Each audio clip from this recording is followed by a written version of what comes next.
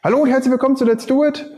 Ich drehe diesen Teil jetzt nochmal neu, aufgrund dessen, dass sich zwei Sachen ergeben haben, die ja nicht so gut sind. Der, der eine Punkt ist gut, aber verzögert sich aufgrund dessen. Hm. Punkt eins: äh, ich weiß jetzt nicht, ob der Fehler bei mir oder bei dem Zuschnitt äh, liegt. Das muss ich später gucken, zu Hause denn. Ähm, jedenfalls fehlen mir drei, nee Quatsch, sechs Bretter. Und somit kann ich die kleinen Schubläden nicht bauen. Das ist Punkt Nummer eins. Wie gesagt, nicht so schön. Und auf die Schnelle kriege ich jetzt auch das nicht mehr heran. Ja, und der Punkt zwei, da geht es um die äh, Schublädenauszüge. Und da habe ich relativ lange immer gewartet, weil ich mit jemandem geschrieben habe und habe gehofft, dass ich sie gesponsert bekomme. Ja, das ist jetzt auch der Fall. Also ich werde sie oder ich bekomme sie gesponsert. Allerdings verzögert sich das aufgrund dessen, dass es eben ein bisschen länger dauert, bis sie abgeschickt werden und so weiter. Äh, ja, dafür werde ich den dritten Teil jetzt quasi so ein bisschen aufsplitten. Ich werde zum Beispiel darauf eingehen, ja, ähm, wie ich das baue. Einzelheiten aber dann erst, wenn ich die Maschine vorstelle. Weil, wie gesagt, es geht jetzt einfach nur um den, um den Bau, ne, wie ich das gemacht habe. Das werde ich jetzt noch als erstes gleich zeigen. Und dann gehe ich eben auf die Schubläden ein. Ja, wir werden trotzdem die großen Schubläden schon fertig bauen. Und die kleinen ist genau das gleiche, die sind nur kleiner. Wie gesagt, da fehlt eher noch das Holz. Aber die werde ich auch komplett fertig bauen und dann werden wir im nächsten Teil, werden wir dann komplett die Schubladen einbauen, die Frontblenden ausrichten und auch festschrauben natürlich das ist jetzt der zweite Versuch. Der erste Versuch ist, mh, hm, naja, missglückt aufgrund dessen, dass ich vergessen habe, dass es ja nur 15 mm sind und nicht 18 und habe somit zu tief gebohrt. Gut. Zweiter Versuch. Das ist jetzt hier für die äh, Drucktaster, die Vorbereitung. Da werden wir jetzt erstmal, weil ich keinen 50 mm Bohrer habe, werden wir jetzt hier vier kleine Löcherchen sozusagen bohren, damit wir diese Ecken weg haben. Dann werden wir hier die, die Mitte, beziehungsweise als allererstes werden wir mit einem 2,5 Millimeter Bohrer komplett durchbohren, damit wir auf der anderen Seite später äh, mit einem 22 Millimeter Bohrer durchbohren können für den Drucktaster zum Durchstecken. Aber ich zeige euch das jetzt einfach. Wir machen das jetzt einfach mal.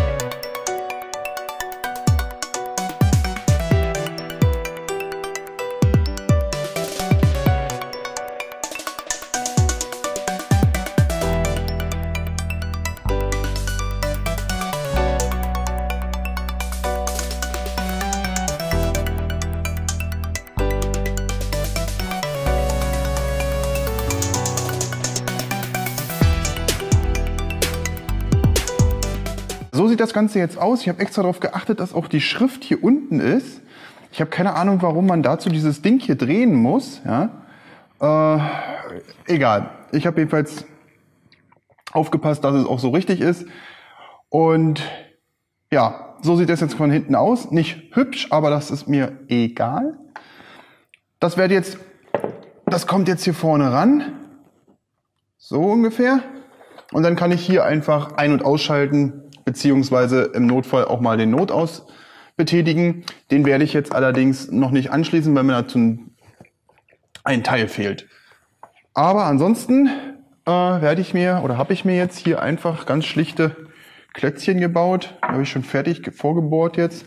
Die werde ich hier einfach nur ranschrauben und dann kommt das Ding einfach nur von hinten daran geschraubt. Das heißt, ich habe hier vorne keine Schrauben und es sieht schön aus. Gut, das machen wir mal. soweit habe ich jetzt alles vorbereitet. Ich habe jetzt hier doch ein Alu-Profil genommen und nicht meine alte, meinen alten Fräsanschlag, weil aufgrund des Wasserschadens ist der ein bisschen krumm geworden und somit fällt er eben aus. Daher habe ich jetzt dieses Alu-Profil genommen. Ist jetzt alles ein bisschen provisorisch, aber es geht jetzt wirklich erstmal nur darum, die Schubläden hier fertig zu machen. Äh, am besten ihr bleibt auch dran. Ich habe nämlich noch was ganz Spezielles einfallen lassen, bezogen auf diesen Fräs äh, oder dieses Alu-Profil. Aber dazu später mehr. Ich habe jetzt mal versucht, die 8 mm auf einmal zu fräsen. Funktioniert ganz gut, aber auf Dauer für den Fräser nicht unbedingt gut. Ja, hier habe ich mal euch das Ganze von unten gezeigt. Ein bisschen Späne fliegt einem auch entgegen. Ja, dann habe ich mir mal eine kleine Spezialhalterung gebaut und habe mal versucht, von oben was zu filmen. Ich hoffe, das hat euch ganz gut gefallen von oben. Vielleicht mache ich das ab sofort dann auch mal öfters. Ja, ansonsten habe ich eben alles abgeschliffen und dann die Nut eben quasi auch mit der Hand dann nochmal ein bisschen nachgeschliffen. Eins vielleicht noch zu dem Mirka-Schleifer, also ich bin echt total überzeugt von dem. Und mit dem in Kombination mit diesen Schleifgittern perfekt.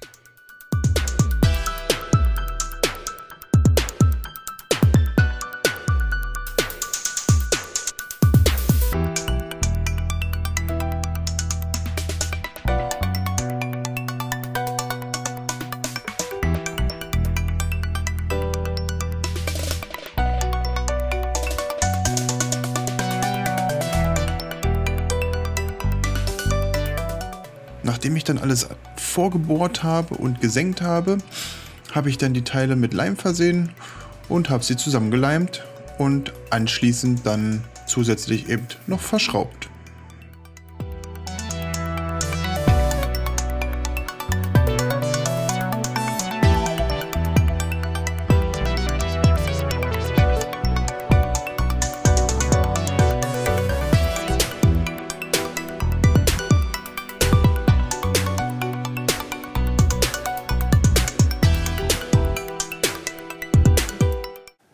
Erste Schublade ist jetzt fertig. Jetzt mache ich noch die anderen drei, also von den großen jedenfalls. Dann kommen wir noch mal kurz zu meinem provisorischen Fräsanschlag. Ich hatte ja vorhin gesagt, dass wir noch mal etwas später drauf zukommen oder dass ich den noch mal erwähnen werde. Und zwar, wer von euch erkennt das? Es wird ein kleines Rätsel geben. Wer von euch das erkennt? Ja? Äh, wo das mal angeschraubt gewesen ist. Also normalerweise, ich glaube, an jeder Seite sind so knapp 50 Zentimeter abgeschnitten. Als kleiner Tipp eben. Äh, ich weiß nicht, ob ihr das erkennen könnt. Es ist etwas Schmutz hier drinnen noch. Ich sage jetzt euch nicht, was es ist. Ja. Hier könnt ihr mal das Profil sehen.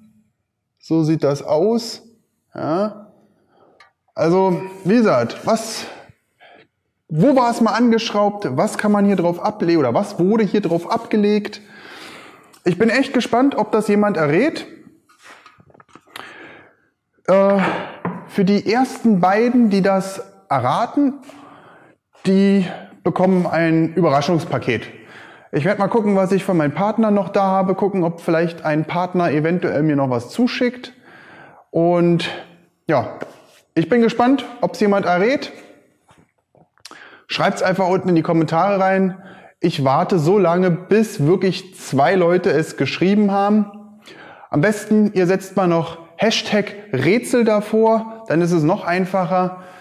Ich blende euch das mal unten ein. Ja, und dann eure Lösung. Und da bin ich echt gespannt. Ich wünsche euch jedenfalls viel Glück. Die erste Schublade ist nun komplett fertig. Ich habe sie, wie gesagt, geleimt, verschraubt und auch schon von innen, hatte ich ja vorher schon geschliffen, aber jetzt auch schon von außen fertig geschliffen. Und ja, wie gesagt, das ist eben die erste Schublade. Hier ist die zweite. Hier ist die dritte. Und hier ist die vierte. Die großen Schubläden sind nun alle komplett fertig. Wie gesagt, die sind wirklich komplett fertig. Die sind geschliffen.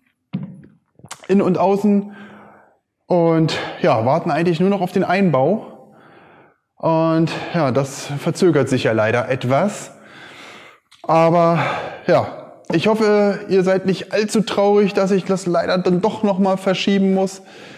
Ich hätte es auch so gerne fertig gehabt, aber ja, leider zieht sich das so ein bisschen wie Kaugummi. Aber ich bin trotzdem echt total froh. Die Schubläden oder die großen Schubläden sind wie gesagt fertig. Die Platte hier mit dem, ich weiß gerade nicht, ob ihr das glaub, ob ihr das sehen könnt, aber ich habe es ja euch schon gezeigt, mit dem Ein- und Ausschalter und dem Notaus, auch wenn der noch nicht angeschlossen ist, aber das kommt definitiv noch. Der ist nicht so zum Spaß da dran. Hm, ja, wie gesagt, einen kleinen Vorabtest habt ihr ja quasi auch schon gesehen. Auch wenn es, wie gesagt, mit dem provisorischen Fräsanschlag jetzt nur gewesen ist. Aber erstmal muss das so sein, weil, wie gesagt, den Fräsanschlag, den ich geplant habe, der, ja, steckt noch in den Kinderfüßschuhen, in den Kinderschuhen. Ähm, aber der wird, wie gesagt, richtig cool. Und deswegen dauert es eben ein bisschen. Äh, also ich stecke noch in der Planung, ja? nur mal so zur Information. Ja, letztendlich ist trotzdem, oder letztendlich funktioniert sie eben, man kann schon mit arbeiten, auch wenn nur so ein bisschen, naja, ich sag mal, ähm, na, provisorisch. Aber trotzdem, die Schubläden konnte ich damit eben schon ohne Probleme bauen und somit für mich perfekt. Ich würde sagen, das war es jetzt erstmal mit dem Teil. Es tut mir echt leid, dass ich den wirklich nicht komplett fertig machen konnte, wie eigentlich ja geplant. Aber ja, so ist es leider. Ich hoffe, es hat euch trotzdem gefallen. Ich würde mich freuen, wenn ihr mir einen Daumen hoch gebt und denkt unten dran in den Kommentaren auch das Rätsel mitmachen. Einfach Hashtag Rätsel und dann eure Antwort. Die ersten beiden bekommen ein Überraschungspaket. Jo, ich wünsche euch ein schönes Restwochenende. Wir sehen uns. Bis dann. Ciao, ciao.